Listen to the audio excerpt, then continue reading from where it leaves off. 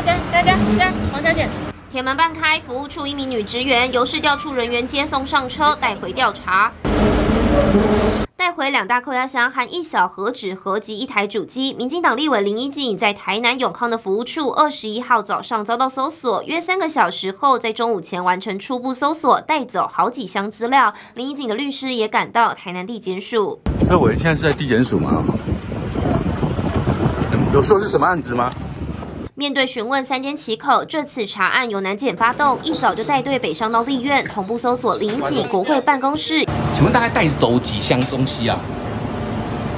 有拿到你们想要相关的证物吗？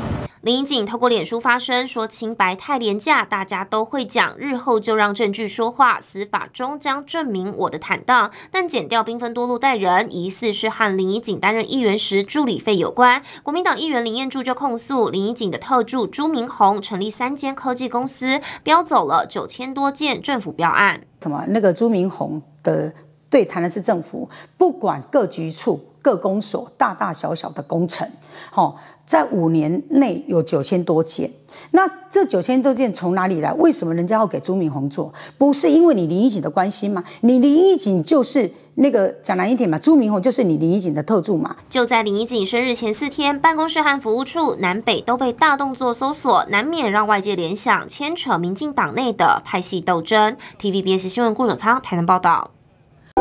想看最完整的新闻内容，记得下载 TVBS 新闻网 APP。